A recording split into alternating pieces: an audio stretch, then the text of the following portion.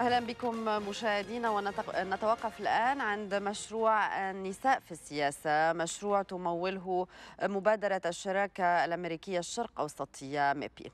الهدف من المشروع تنظيم ورش عمل وجلسات تدريبية من أجل تمكين المرأة من المشاركة بفعالية في الحياة السياسية. وتم تنظيم هذا المشروع بالتعاون مع المركز العربي للتنمية ومنظمة نساء رائدات الغير حكومية. التفاصيل في هذا التقرير لدراجا غفاري. ترجمة ترجمة حصة أوكي هذا النظام التمثيل.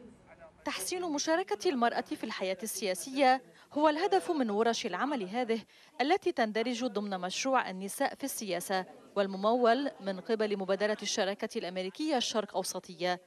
فكيف يمكن برأي المشاركات تعزيز دخول المرأة إلى المجلس النيابي؟ نحن عم نشكل قوة ضغط بس مجتمعنا ذكوري بامتياز يعني يلي راح يقر الكوتا. هن رجال هلأ موجودين.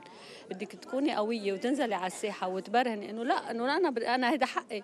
أنا مثلي مثلك أنا متساوية مثلك بالدستور. ليه هلأ وقت الكوتا ما راح تعطيني؟ بدها تشتغل على حالها لحتى تبني إيماج لها خاصة فيها لحتى الغير يآمن فيها ويوثق فيها لحتى توصل.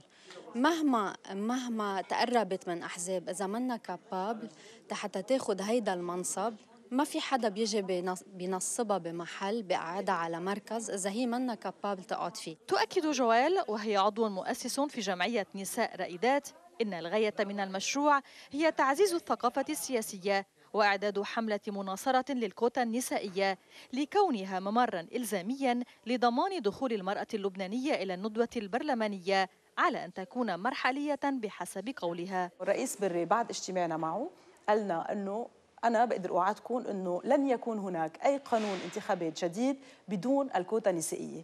وطبعا وقت نقول هيك يعني عم نحكي نسبة 30% اللي نحن عم نطالب فيها أقل شيء. دور المرأة اللبنانية في الحياة السياسية خجول إن لم نقل مهمشا.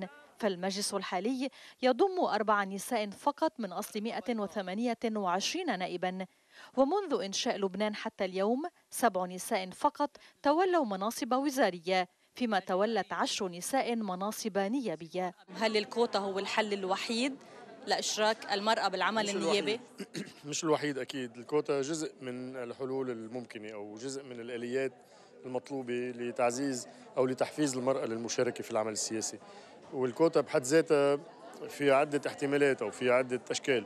ممكن تكون كوتا مقاعد محجوزة ممكن تكون كوتا على مستوى الترشيح. وبالتالي هذه تقنيات آه، تذهب كلها في اتجاه آه، إعطاء حوافز كافية للمرأة لتتمكن من الدخول إلى الحياة السياسية بشكل آه، بشكل أفضل من مما هو متاح حاليا. عقبات كثيرة تعترض مسار هؤلاء النساء الطامحات.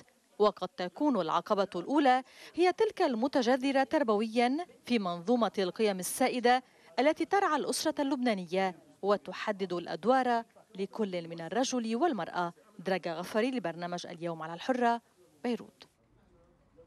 وفي أعقاب الربيع العربي تم تأسيس المركز العربي للتنمية من قبل مجموعة من الخبراء العرب تحديدا في مجال الانتخابات والحكم الرشيد والشفافية وعمالة الشباب وحقوق الإنسان.